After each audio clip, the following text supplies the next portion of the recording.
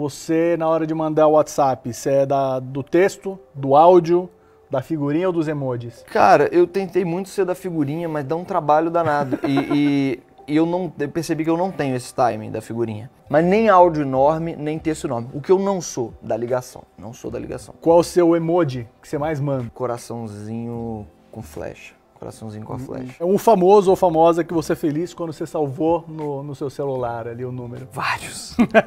Engraçado quando você salva, tipo Adriana Esteves, né?